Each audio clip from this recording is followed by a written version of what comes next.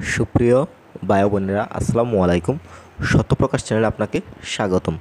বিমান বাংলাদেশ এয়ারলাইন্স থেকে আবার নতুন করে একটি নিক দেওয়া হয়েছে। এখানে এসএসসি থেকে অনার্স মাস্টার যারা কমপ্লিট করেছেন, সকল জেলা থেকে কিন্তু আবেদন করতে পারবেন।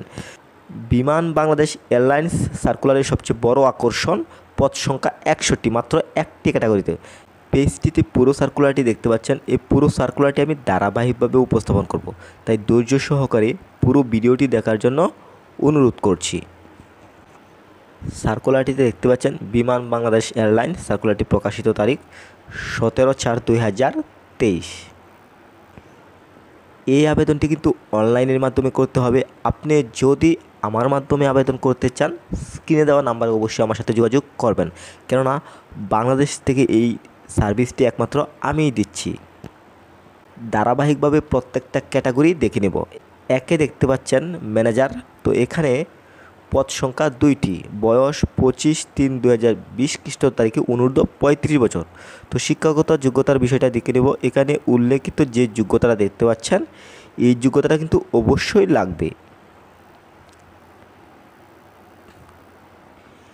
এরপর দুই নাম্বার ক্যাটাগরিতে রয়েছে জুনিয়র ফ্লাইট অপারেশনস অফিসার এখানে পদ সংখ্যা ছয়টি। তো এখানে বয়স হতে হবে অনূর্ধ্ব তিরিশ বছর। তো এখানে উল্লেখিত যে যোগ্যতাগুলো দেখতে পাচ্ছেন, এই যোগ্যতাগুলো অবশ্যই লাগবে এই দুই নম্বর ক্যাটাগরিতে আবেদন করার জন্য।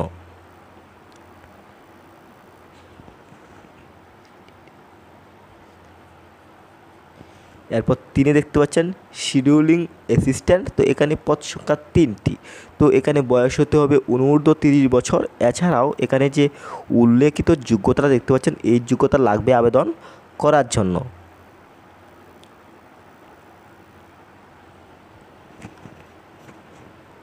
এরপর চারে দেখতে পাচ্ছেন অ্যাসিস্ট্যান্ট রুট অ্যান্ড ফুয়েলস তো এখানে পদ সংখ্যা চারটি। এখানে বয়স হচ্ছে অনূর্ধ্ব তিরিশ বছর। এছাড়াও এখানে উল্লেখিত যে যোগ্যতাটা দেখতে পাচ্ছেন, এই যোগ্যতা লাগবে আবেদন করার জন্য।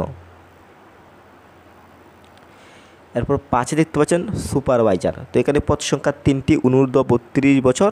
তো এখানে উল্লেখিত যে যোগ্যতা দেখতে পাচ্ছেন, এই যোগ্যতাটা লাগবে আবেদন করার জন্য। এরপর ছয় দেখতে পাচ্ছেন ওয়ার্ক সুপারভাইজার। তো এখানে পদ সংখ্যা দুইটি অনূর্ধ্ব তিরিশ বছর। তো এখানে উল্লেখিত যে যোগ্যতা দেখতে পাচ্ছেন, এই যোগ্যতা লাগবে অবশ্যই আবেদন করার জন্য।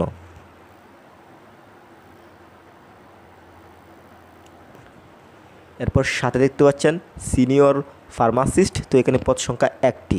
তো এখানে উল্লেখিত যে যোগ্যতা দেখতে পাচ্ছেন, এই যোগ্যতা লাগবে আবেদন করার জন্য। বিমান বাংলাদেশ এয়ারলাইন্স সার্কুলারের সবচেয়ে বড় আকর্ষণ পদ সংখ্যা একষট্টি, মাত্র একটি ক্যাটাগরিতে। যেমন পেজটি দেখতে পাচ্ছেন, আট নাম্বার ক্যাটাগরিতে রয়েছে গ্রাউন্ড সার্ভিস অ্যাসিস্ট্যান্ট।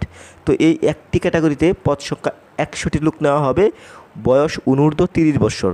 তো এখানে উল্লেখিত যে যোগ্যতা দেখতে পাচ্ছেন, যেমন স্নাতক degree CGPA two point eight চারের মধ্যে, এসএসসি ও এইচএসসি উভয় পরীক্ষায় প্রত্যেকটিতে জিপিএ তিন, পাঁচের মধ্যে, অথবা ডিপ্লোমা ডিগ্রিধারীদের ক্ষেত্রে দুই দশমিক আট চারের মধ্যে। ও লেভেলে গড়ে যে কোনো পাঁচটি বিষয়ে এবং এ লেভেলে গড়ে যে কোনো দুইটি বিষয়ে ন্যূনতম ডি থাকতে হবে।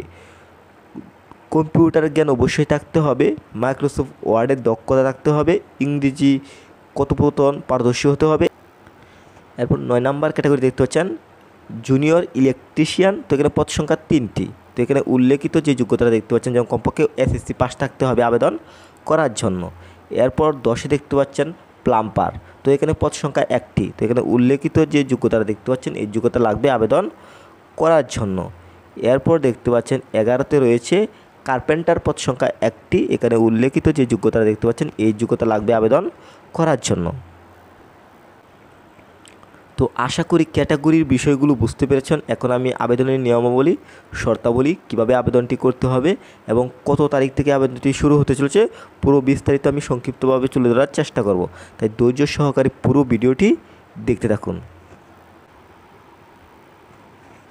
তো আমি আগেই বলেছি আবেদনটি কিন্তু অনলাইনের মাধ্যমে করতে হবে। এখানে যে লিঙ্কটি দেখতে পাচ্ছেন double B L dot telecom BD, এই লিঙ্কের মাধ্যমে কিন্তু আপনাকে আবেদনটি করতে হবে। এছাড়াও আপনি যদি আমার মাধ্যমে আবেদন করতে চান স্ক্রিনে দেওয়া নাম্বারে অবশ্যই আমার সাথে যোগাযোগ করবেন। কেননা, একমাত্র বাংলাদেশ থেকে আমি এই সার্ভিসটি দিচ্ছি। তো এখন বলব আবেদনটি শুরু হতে চলেছে আঠারো চার তেইশ সকাল দশটা থেকে। তো অলরেডি কিন্তু আবেদন শুরু হয়ে গিয়েছে, আপনি চাইলে এখন থেকে আবেদনটি করতে পারবেন এবং আবেদন জমাদানের শেষ তারিখ সময় আট পাঁচ দু বিকাল পাঁচ ঘটিকা।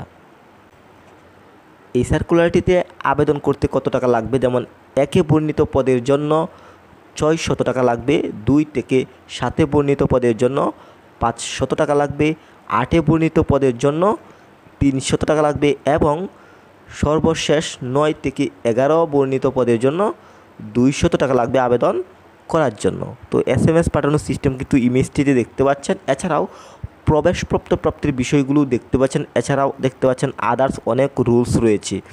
যেই রুলসগুলো এই মুহূর্তে প্রয়োজন নেই, পরবর্তী সময়ে প্রয়োজন হবে। তো এখন দেখে নেওয়া যাক যে সার্কুলারটি কার দায়িত্বে রয়েছে।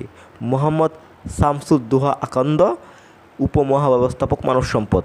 তো বিমান বাংলাদেশ এয়ারলাইন্সের এই হচ্ছে সর্বশেষ সার্কুলার আশা করি পুরো সার্কুলারটি বুঝতে পেরেছেন। আমি আবারও বলছি, আপনি যদি আমার মাধ্যমে আবেদন করতে চান, তাহলে স্ক্রিনে দেওয়া নাম্বারে অবশ্যই আমার সাথে যোগাযোগ করবেন। সবাই ভালো থাকবেন। আল্লাহ হাফেজ।